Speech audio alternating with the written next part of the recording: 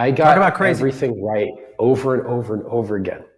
So Let I literally brag this. about it on the internet. Tell okay, people well, let's like, let's kneel. do some let's do some projecting here, man. I want to get you sure. to be more right more often. Um, and we're going to talk about 2023. Let's do some predictions here, okay? Yep. 2023, Richard Heart's official predictions is eleven thousand dollar Bitcoin will have been hit.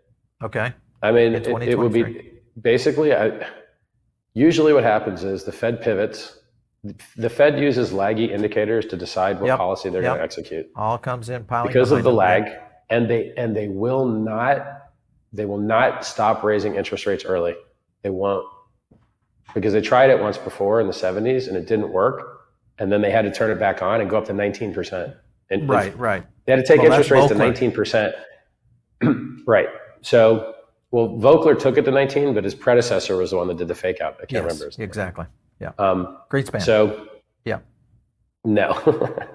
Great Greenspan after. was far later. No.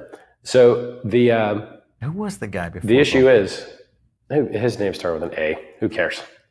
So the. Uh, the, the trick here is the Fed has told you as clearly as they possibly can they're going to keep raising rates to hit their 2% yeah. inflation target period.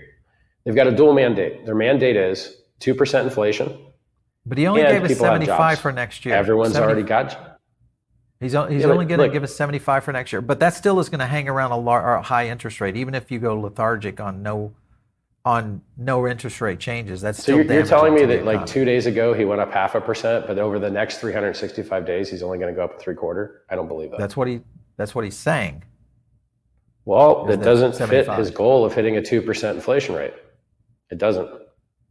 My that, that, exactly. contradicts so, the other things that he's saying, which is get ready. He, he's literally like, get ready for a lot more pain. The markets are going to come yeah. down more. So what he's going to do is he's just going to trade your job for lower inflation. Yeah. He's going to put yeah. people out of business. He's going to put people out of work. People are going to lose their jobs. I think that starts jobs. coming in Q1 and Q2. That's going to sure, lower the inflation. Jobs. Yeah. Yeah. That's going to lower the inflation. Now here's the question for you. How are you going to make a crypto bottom when everyone's out of work? Oh, what are you talking about? So I, I, don't. You've got to sell. Every other time crypto has bottomed, it's been in a quantitative easing environment. Crypto's never it's bottomed in a quantitative tightening environment before. Yeah. So now look, crypto will bottom first, in my opinion. But until he pivots and stops raising the rates, and right. then we get the actual market crash. So usually people think the pivot saves you. Usually, historically, the pivot it is then followed you. by the real crash. Yeah, it kills you. And then you get your bottom six months, eight months later, mm-hmm. And then you go up. So yep.